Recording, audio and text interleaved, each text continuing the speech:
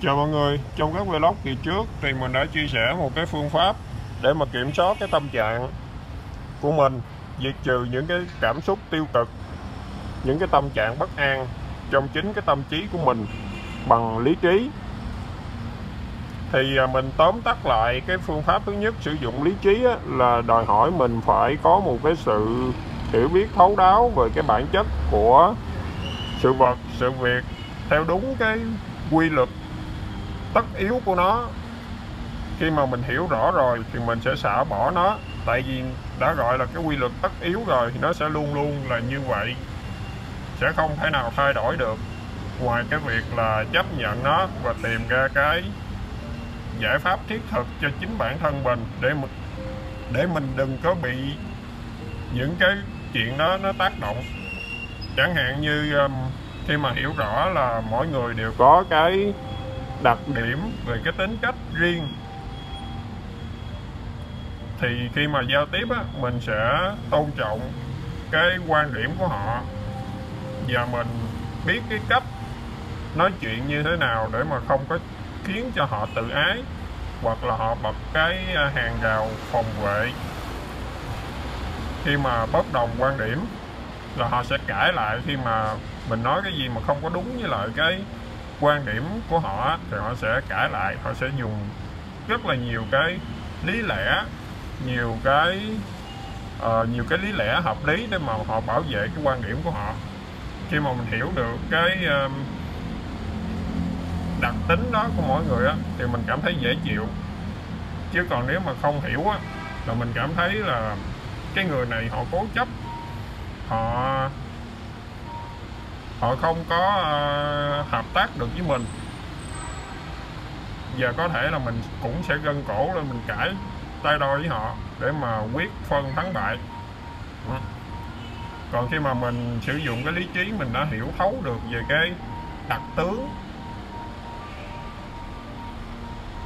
của con người rồi thì mình sẽ biết cách mình nói chuyện để mà mình khôn khéo vẫn hợp tác được với họ và mang lại cái bình yên cho chính mình. Đó là cái cách sử dụng lý trí. Ngoài ra còn có một cách khác nó tương đối là dễ hơn gần gũi với cuộc sống hơn và có thể uh, dễ dàng được áp dụng bởi số đông nhiều hơn.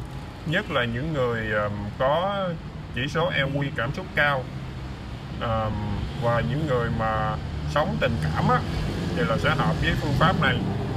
Đó là phương pháp trao dồi cái tâm nhân từ.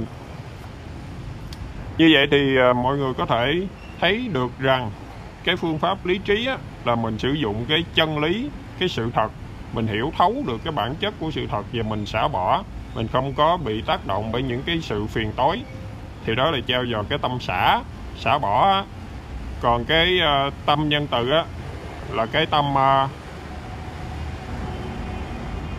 họ, cái nhân từ có nghĩa là mình hiểu cho cái hoàn cảnh của người khác và mình có cái sự tôn trọng họ. Thì khi đó mình sẽ không có cảm thấy mâu thuẫn gây gắt khi mà họ làm cái gì, cái điều gì đó mà không có như mình mong muốn thì đó là ý nghĩa của việc trao dồi cái tâm nhân từ. Đó là trao dồi cái tâm cảm thông cho người khác. Có hai cách. Cách thứ nhất á, cái nguồn thứ nhất là mình sẽ lên mạng, kiếm những cái bay về đời thường. Chẳng hạn như lên Instagram, kiếm cái từ khóa ở đâu cũng chụp, follow cái bài này để mà đọc những cái bài viết trải nghiệm cuộc sống đời thường của nhóm tác giả ở nhiều nơi. Qua đó, mình sẽ cảm thông được với cái, những cái khó khăn thường nhật của những người xung quanh ở nhiều cái tầng lớp xã hội. Càng à, hiểu hiểu đời, hiểu người thì mình sẽ càng tăng cường cái tâm cảm thông đó. Nguồn thứ hai nữa là sách. Mọi người có thể tìm những cái sách uh, của tác giả người Việt. Chẳng hạn như cuốn chuyện nhỏ Sài Gòn. Lưu ý là nên đọc sách của tác giả người Việt nha. Tại vì cái văn hóa vùng miền với lại cái um, cái mô tả nó rất là gần với lại cái cuộc sống của mình. Đó. ưu tiên đọc những cái sách của tác giả người Việt. Bây giờ mình sẽ đưa ra một cái ví dụ. Ví dụ như um, mình chích trích dẫn nha. Những ai mà làm sale bán hàng hoặc là chăm sóc khách hàng thì chắc hẳn đã từng gặp những cái tình huống mà khách hàng khó tính hoặc là khách hàng hỏi những câu hỏi mà mình khó đỡ gây khó khăn cho mình.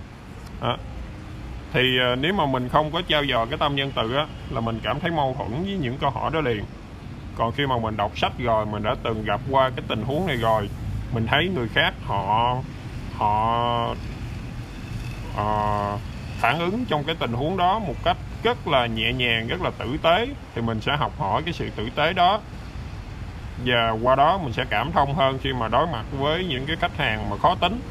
Chẳng hạn như một anh nhân viên bán uh, bán uh, xe sang ở một showroom. Anh ta tiếp một uh, ông cụ. Ông cụ này hỏi rất là nhiều nhưng mà cuối cùng không có mua à, nhưng mà anh ta vẫn mời ông cụ một cách lịch sự ngồi nghỉ ở hàng ghế. Ông cụ mới nói là cảm ơn chú tôi chỉ coi thôi chứ à, tiền cả dòng họ tôi góp lại cũng không có mua nổi chiếc xe. Thì anh nhân viên ảnh cũng trả lời rằng dạ con biết sẵn ngoại vô chơi thì con giới thiệu luôn để ngoại coi xe. Đâu phải ai cũng à, đâu phải ai vô coi xe cũng mua đâu ngoại. Anh cười coi bộ hiền khô, đấy thì à, mình đã đọc qua cái câu chuyện này rồi thì nó đã gieo vào đầu mình một cái điều tích cực để khi mà mình gặp những cái người khách mà người ta hỏi nhiều nhưng mà cuối cùng họ không có mua hàng thì mình vẫn giữ cái mối quan hệ tốt đẹp. Đó là cái lợi ích thiết thực của việc trao dồi cái tâm nhân từ. À, mình đọc sách là để mà mình trao dồi cái tâm như vậy chứ không phải là mình đọc sách chỉ để là đọc chuyện cho vui mà đọc để mà mình mình trải nghiệm trước đó thay vì mình phải gặp cái tình huống rồi thì có thể là mình sẽ phản ứng một cách theo bản năng tự nhiên. Còn cái này đọc những cái này rồi thì tự nhiên nó sẽ gieo vào đầu mình một cái hành vi một cái ờ, cách cư xử uh, hào sản và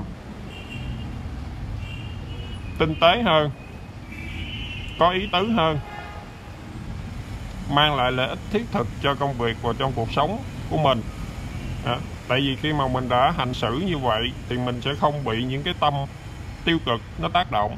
Còn nếu mà mình không có chuẩn bị trước không có biết trước á thì gặp cái tình huống đó thế nào mình cũng cảm thấy khó chịu. Tại vì mình bị tốn thời gian công sức nhiều tư vấn khô cổ luôn. Rồi cuối cùng không có được ờ, gan ngô khoai hết mình cảm thấy bực mình cái tâm bản năng của mình là như vậy. Còn khi mà mình đã trao dồi cái tâm nhân từ rồi thì mình sẽ cảm thấy thoải mái. Và mình vẫn nuôi uh, vẫn nuôi uh, duy trì cái mối quan hệ đó. Khách này không mua thì có thể là trong tương lai ông có những người bạn với sự tử tế của mình thì có thể là ông sẽ giới thiệu bạn bè hoặc là người thân người quen gì đó. Chỉ cần một cái tiếng tốt của ờ, khách hàng này thì nó sẽ là một cái ờ, niềm tin rất là lớn. Thay vì mình bỏ tiền ra mình quảng cáo nhiều thì nó cũng chưa chắc là bằng một cái lời giới thiệu chân thật từ người người nhà người quen. Để thì nuôi giữ cái mối quan hệ tốt bằng sự tử tế. Đó là cái lợi ích thiết thực và nó mang tính nhân văn.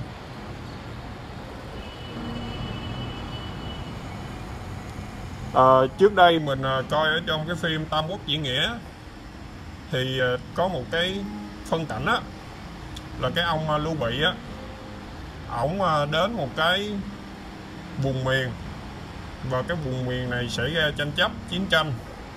Cái quân lính của ông Lưu Bị phải rút đi chỗ khác. Thì người dân á, người ta theo theo ông Lưu Bị. Rồi cái ông Gia Cát Lượng á, mới nói là nếu mà đem dân theo á thì sẽ làm à, khổ cho dân và nguy hiểm cho dân. Tại vì quân lính quân thù giặc có thể đánh mình bất cứ lúc nào và gây à, uh, liên ngụy cho dân chúng. Cái ông à, Lưu Bị ông mới trả lời rằng là người dân đã tin tưởng ta và xem ta như là người nhà nên ta không thể bỏ mặt người dân được. Thì sau đó thì nhờ cái hành xử nhân từ này mà mới thu phục được gia cát lượng khổng minh của lưu bị. Đó. do đó, mọi người có thể thấy rằng khi mà mình có cái sự tử tế, cái tâm nhân từ rồi á, thì nó sẽ mang lại một cái sự bình yên cho chính bản thân mình. Và mọi việc nó cũng thuận lợi hơn, suôn sẻ hơn. Đó là cái phương pháp trao dồi mà ai cũng có thể học được hàng ngày. Giống như là nuôi lớn, chăm sóc một cái cây bằng cách là tưới nước và chăm bón hàng ngày thì nó sẽ tươi tốt. Rồi cảm ơn mọi người đã theo dõi vlog nhớ like và subscribe để cập nhật những cái phương pháp quản trị tâm lý tiếp theo nhé.